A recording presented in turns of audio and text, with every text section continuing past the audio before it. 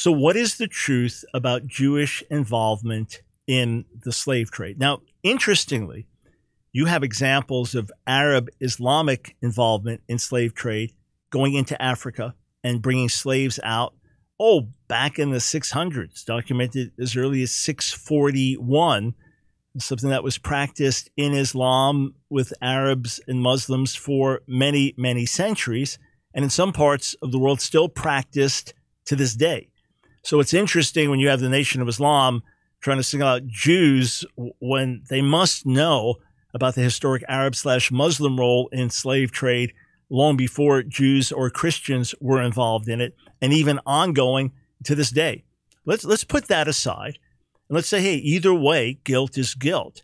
Jewish responsibility is Jewish responsibility. And Eli Faber and other Jewish scholars would agree.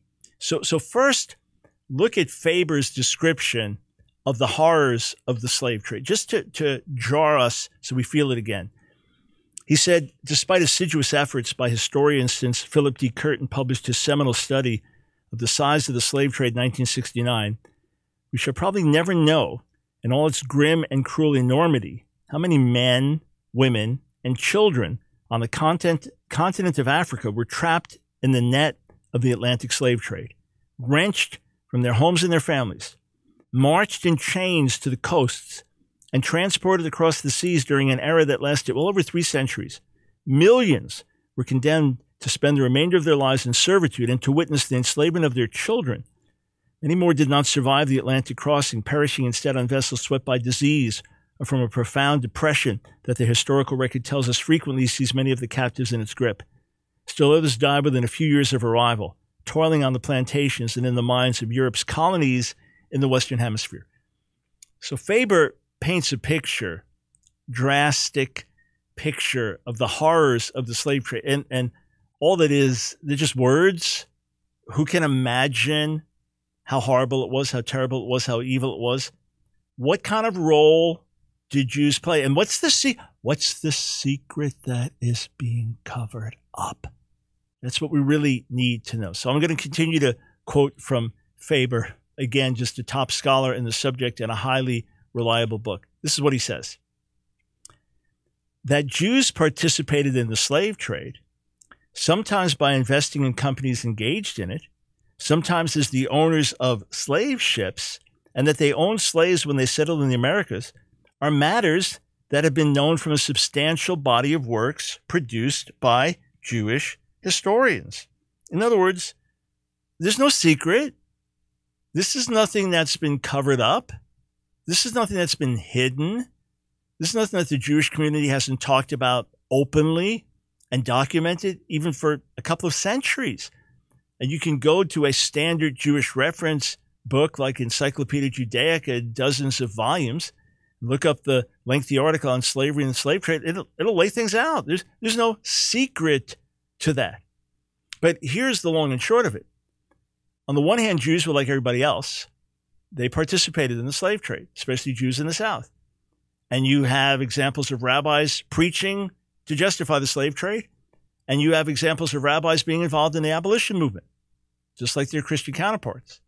You say, well, then Jews were like everybody else. Well, no, no, no. Here's the thing the lie is that Jews played a disproportionate role in the slave trade. The reality is they played a very, very, very minor role one reason being that very few Jews owned plantations.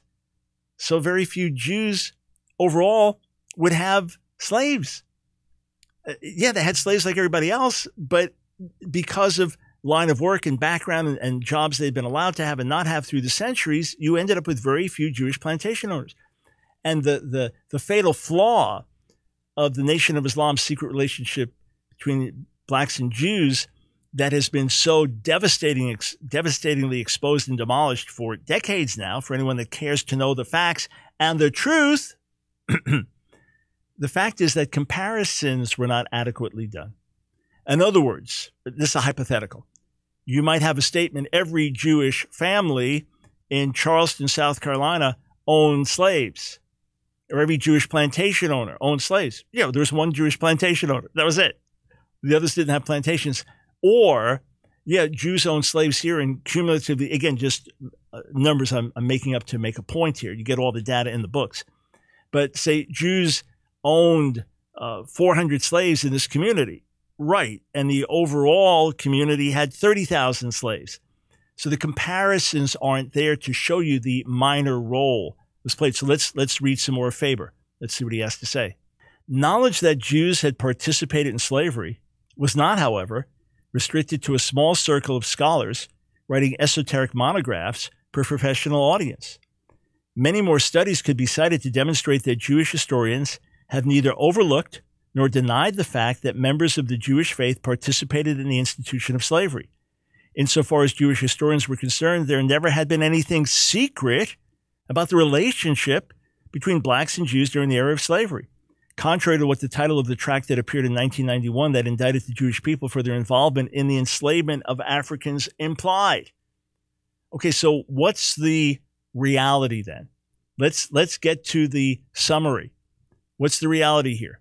So just a couple more slides from Faber as he lays this out. In recent years, interest regarding the extent to which Jews participated in the institution of slavery in the Americas has stemmed from allegations that they predominated in the slave trade and that they owned slaves well in excess of their proportion among the white population.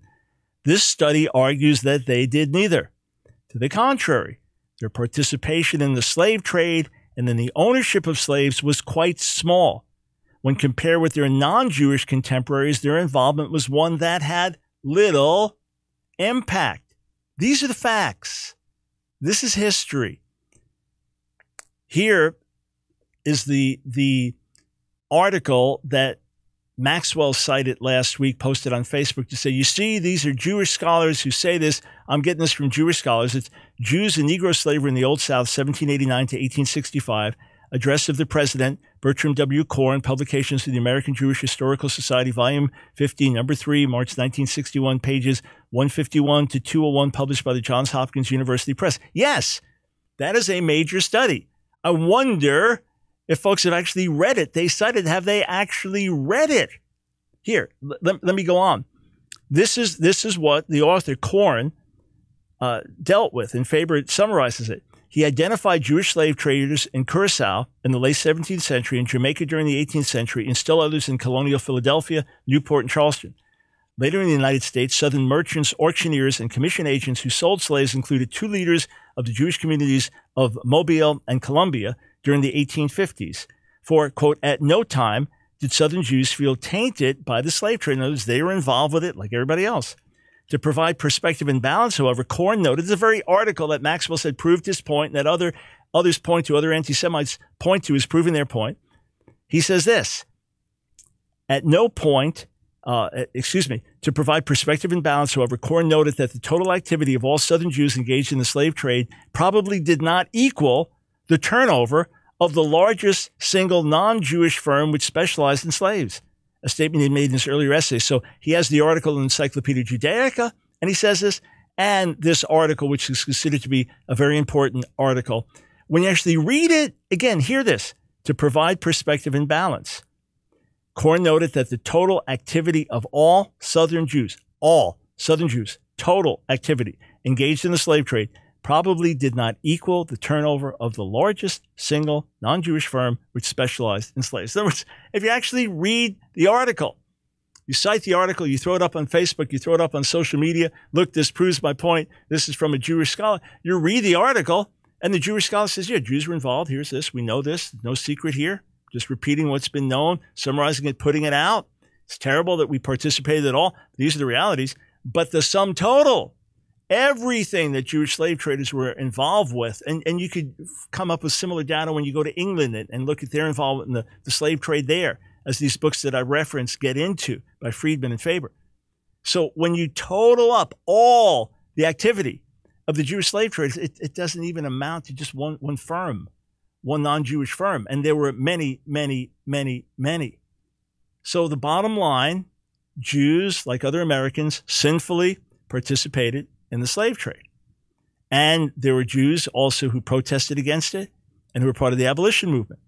But the Jewish involvement overall, one, because of small Jewish population overall, two, because of small Jewish ownership of plantations, it ended up being minimal.